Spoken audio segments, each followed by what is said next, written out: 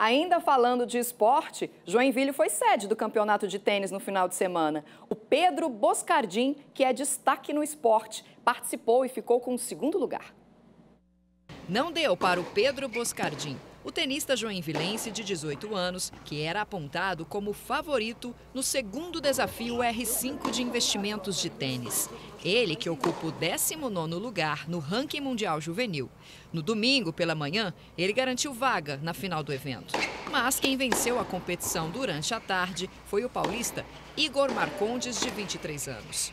Joinville foi sede do evento que reuniu oito tenistas do circuito juvenil e profissional entre os dias 29 e 31 de janeiro no Tênis Clube. O desafio permite que os atletas continuem em atividade, além de distribuir 5 mil reais em prêmios para que eles possam se manter no circuito durante a pandemia.